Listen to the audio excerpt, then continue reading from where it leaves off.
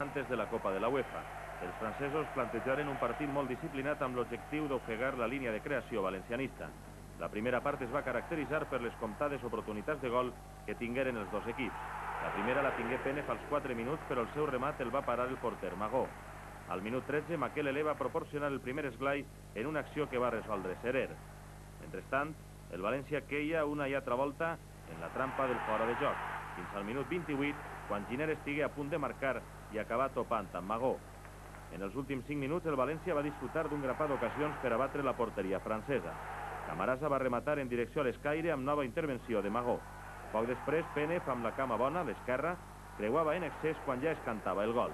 S'arribava al descans amb el 0 a 0 inicial que donava el passaport al València, però quan només havien transcorregut 5 minuts de la represa, el saforenc de Nantes, Reinald Pedrós, amb una bona dosi de fortuna i la involuntària col·laboració de Serer, emmudia el Mestalla.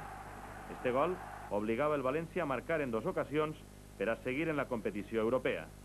Al minut 22, quan els jugadors del València estaven perduts sobre el camp, es va produir un clar penal de Karen B a Arroyo. L'escocès Motram no dubtà i marcà el punt fatídic. Mestalla esclatava d'alegria quan l'Ubo Pérez transformava.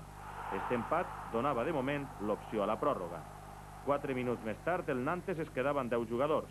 En vore Karen B, la segona targeta groga. Esta expulsió a la llarga seria decisiva. El València s'hauria pogut estalviar la prolongació en l'últim minut, quan Fernando no va encertar en un magnífic servici de Mijatovic. La pròrroga va ser un altre cantar, entre altres raons perquè Galvez va revolucionar el pati. A un minut del descans del primer temps, Camarasa deixa per a Mijatovic i el montenegrí centra mesurat perquè l'exjugador del Mallorca, en un impressionant remat de cap, posara el Mestalla als seus peus.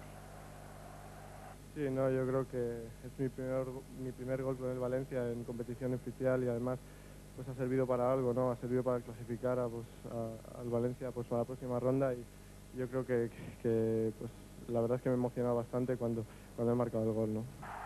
Un gol de bella execució d'un jugador que crida les portes de la titularitat. Precisament Galvez, en la segona meitat de la pròrroga, va ser objecte d'un clar penal de Magó que amb un arbitratge normal es devia haver convertit en màxim castig i jugador expulsat.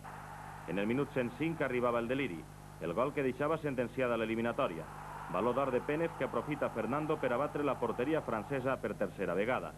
El públic ja només esperava el final del partit, però encara hi va haver un altre penal comès sobre l'Hugo Pérez, però pot ser pel 3 a 1 del marcador, Mr. Motram el torna a passar per alt. Para mí, mi opinión es que ha habido un penalti claro sobre Galvez, que, era para expulsión, y luego pues otro sobre mí.